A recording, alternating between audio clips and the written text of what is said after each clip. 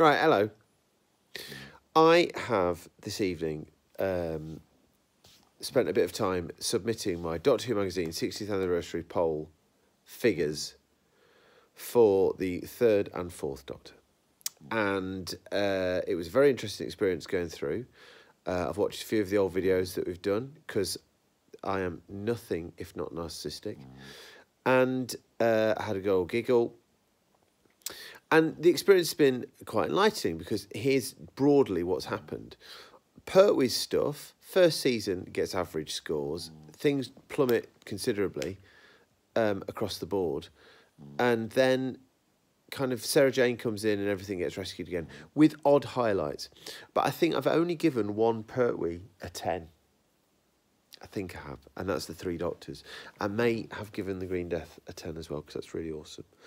Um, and then Tom starts, and all the way up until Horror of Fang Rock, it's like 10, 10, 10, boom, 10. Android Invasion 4. You know what I mean? That sort of thing. Then Horror of Fang Rock happens, and it's like 2, 6, 4. Do you know what I mean? And then also we've had City of Death. Creature from the Pit got 11, obviously. You're just saying that to I've upset- me. I know that that's not what happened I've upset my wife on there. two accounts. Okay, I've upset my wife, but there we go. And then we've got to But this. there we go. How can you do that? I've upset my wife, but there we go.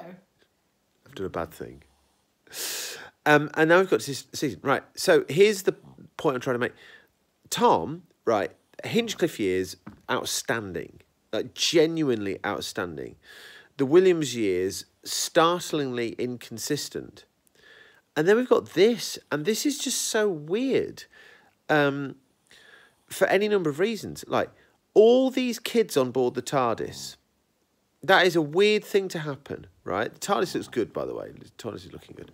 But all these kids just on board the TARDIS, it feels way more vulnerable uh, than it has ever before. That's really bizarre. Just by letting these kids on. Adric is a most peculiar character in terms. Now, let's. We're going to have to have a big chat about Adric at some point, but let's just think about him as a character. He has immediately ingratiated himself with Romana by just being good at maths. I mean, come on. I helped Winnie with her algebra homework the other day, and we were bossed in, man. She didn't do so well in the test, though, did she? no, she did really well in the test, and stop being so bloody annoying, Karen-y parent about it. I'm not doing myself any favours over here. But Adric's a, Adric would not have turned up at any other point in uh, Tom's run. And then we get some awesome uh, location filming. The stuff inside the freighter um, in the, the room, we get the same sort of camera shots that we had in the in uh, Leisure uh, Leisure Hive. But this is a most peculiar story. Now, John, me on Mucker John, I've just been talking to Paul and John via the mighty WhatsApp. And John made some reference to Tom being somber at this um, uh, point in his tenure. And I know, I agree, uh, John's right in that regard, and I know it's a popular consensus. But there are moments here that are so Tom, you know, when he's so pleasant to the Marsh child, um, uh, when the three uh, dudes in charge uh, introduce themselves, says, and I'm the doctor. But it's weird how it gets a lost and gets lost because there's new voices, for want of a better word, new uh, influences, and it's not all Williamsy tailored to Tom's whimsy. There's a really good sentence in there. Williamsy tend. Oh, I'll work it out later. So it's a bizarre sensation. Romana's class Romana's really, really good, and, and this is one of the big revelations of the Who. I never fully appreciate just how great she is, and she's absolutely amazing. But there's also, and this cannot get lost, a really good Doctor Who story here. Would you agree with that, Libs? Uh, there's a potential for it, yeah. Uh, I, I find it a bit frustrating when there's a story where there's some race on Earth and then there's some other group of aliens or race or whatever. And Yeah. Because they're othered, they're made out to be so terrifying and bad.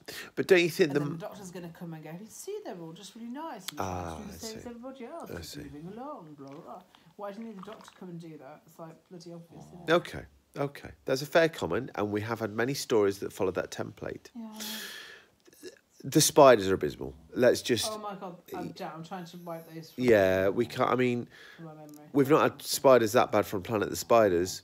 Or uh, Spiders in the World, as I've been reminded that Libby's called that, uh, which only got a four, by the way. Spiders in the world. Spiders in the world, with still possibly the worst episode of Doctor Who that's ever been. Um, mighty. So, yeah, this is this is fascinating in so much as in following the chronological order of Doctor Who, this change is just so. I mean, I know we've had two stories already, but this now is like whoa, whoa. Anyway, there we go. Farewell.